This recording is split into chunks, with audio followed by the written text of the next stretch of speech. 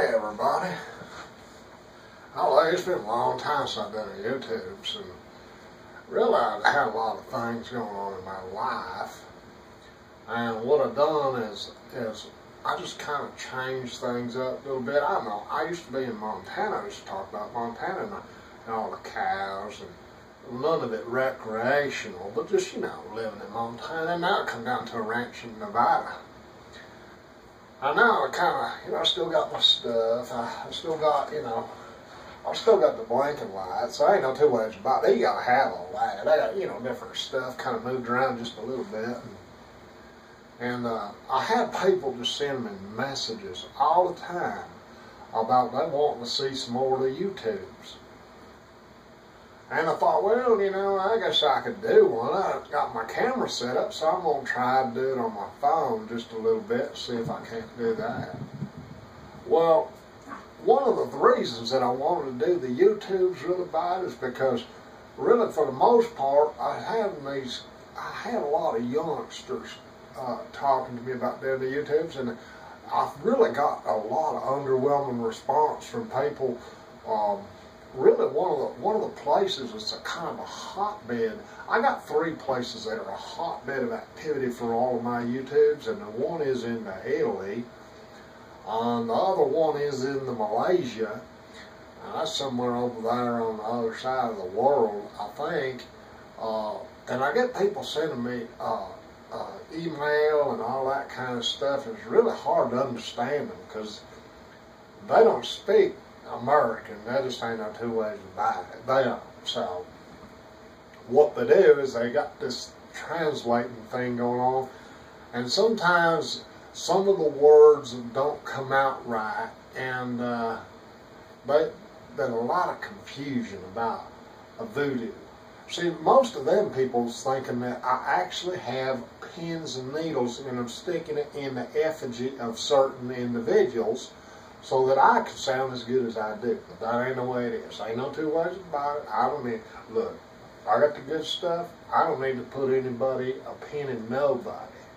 I just, I just do my thing. That's all there is to it, ain't it? Ain't no two ways about it.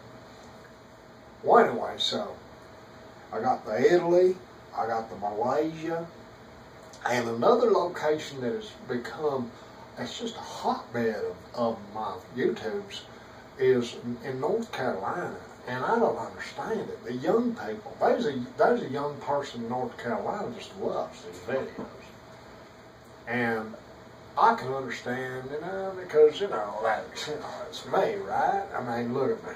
That's all there is to it. That's all you need to know. Uh, but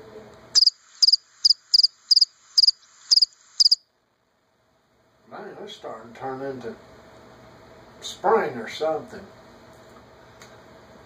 Uh, one of the things that has come to my attention, especially with the younger crowd in this demographic becoming interested in my YouTubes, is I have kind of a social obligation in certain instances to kind of point out things that are not good for our youth, uh, even good for our elder peoples and stuff like that.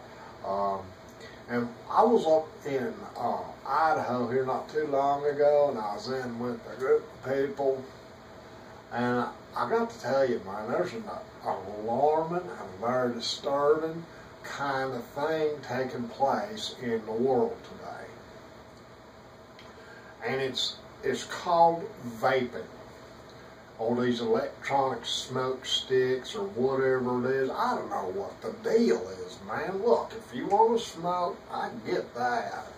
Uh, see, when I, I used to smoke, and I used to go out and have me a cigarette break and I'd smoke for about five minutes and I'd go on about my business. You know, I could smoke a little bit and I'd just go on and do my thing. That's all, ain't no two ways about it. So, these people now with these things, they're running around, they got them tied around their necks like a leash, like a lost dog. They got to have this thing. It's like, it's like their homing beacon or something like that. Well, anyway, so the these things, man, they, they, they're, I don't know if y'all have seen these, but they are a contraption. I ain't, there's no two ways about it. One of them, you remember on Star Trek that, that that old black gal, she was really good looking back in the day. Scared me to death because I thought she could kill me if she ever got me in bed. But anyway, that's beside the point. You know what I'm saying. Um, her name was Lieutenant Uhura. You remember her on Star Trek? She had this thing that used to stick out of her hair, man, and that's the way she talked to everybody. You know, the odd thing about that TV program is nobody else had one except Lieutenant Uhura. Maybe it was just because the woman that played it had a malformed ear or something. Maybe so they need to camouflage it with this contraption that sticks out. Well, that's what, you know, remember that thing? It would stick out, man, and it was kind of like this, uh, like machined aluminum, and it would stick out a little bit. And she was always kind of doing like this, like it was talking to her. I guess it was her intercom. Maybe it was her it was her Bluetooth. That's all. You know, it's like a Bluetooth. That's what it was. But anyway, so she had this thing, and it was kind of like this funky looking little critter. Well, that's what these vaping people are carrying around. They got these contraptions look like a marital aid, man. I'm telling you what. Looks like they're out to please a whole group of women with these things. They're big, they got, and they stand there and they hold them nonstop and you can't have a conversation. It's worse than having a conversation with Dean Martin. Dean Martin back in the day, you'd have a conversation with him and he'd be having that drink like this and he'd do like this, be spilling on your shoes the whole time. I mean, that's, you know, just, that's annoying. That's just, don't be stupid about it. Don't do stuff like that. Right? Anyway, so they got these vaping things and they got them around their neck like they are, like a, like a dog training device. I expect you know, one of them to grab it and start beeping at their dog, hey, get back here, stop digging in the trash, hey, bring that bird back here, whatever. But they know, they just sit there and hang around their neck. And they got the big old monster contraption look like that. Then they put it to their mouth, look like they eating on a dildo or something. I mean, I don't want to be crude, rude, or disgusting or nothing, but that's what it looks like. Just stupid. Don't be stupid about it. So you can't have a conversation with these people. There ain't no two ways about it. You having a conversation, reach down there. And it's one thing, if you want to smoke, smoke. But if you're going to have one of these contraptions around your neck, quit acting like it's dirty. Because they take it, and you've been having a conversation with them, and they'll take the thing, and they turn away like they're ashamed. Well, personally, I would be ashamed if I was carrying a dildo around my neck and I was eating on that thing every once in a while. That, that's just nasty. Don't do that. But that's their thing. It's it's really starting to take over. It's all over the country.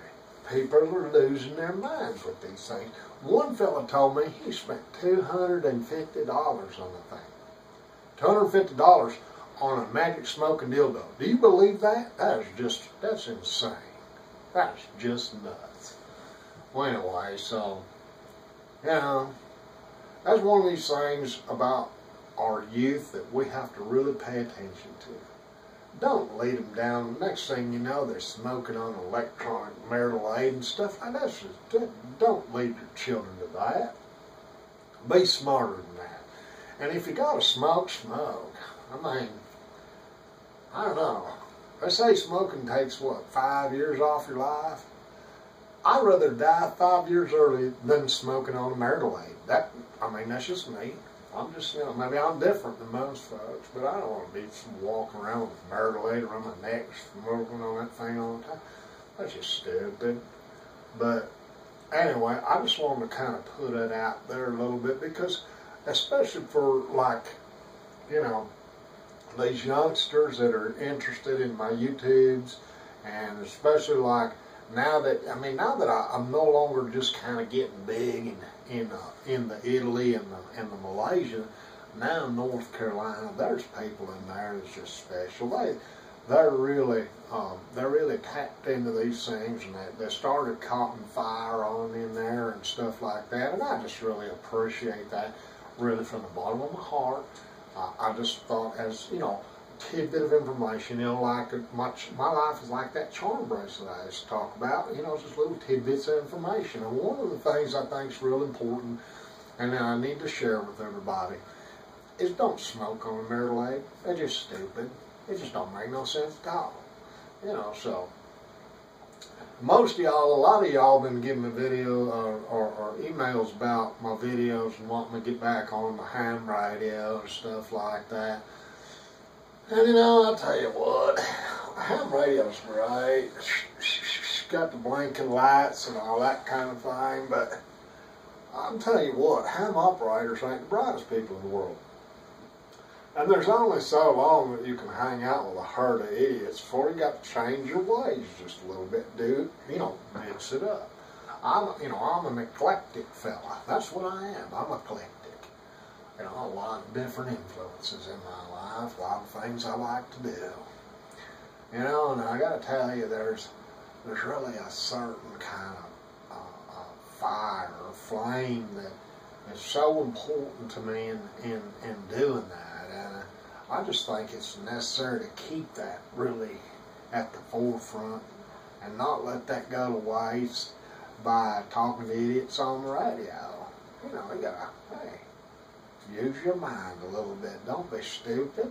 Can't hang out with idiots all the time, but anyway, most of y'all out there have been missing and, and talking to me about doing the YouTubes and everything. Really, this is a social disaster, these people with the Myrtle We just gotta tell them straight up, hi fella, don't put that dildo in your mouth. I know two ways about it. So, you know, if you see one of these people, I would be careful. I really would because they obviously ain't mentally balanced. Anybody that would stick a marital aid in their mouth in public, um, if you want to do that at home, hey, that's, you know, whatever, whatever floats your boat down the river, that's fine with me, believe me, but, uh, yeah.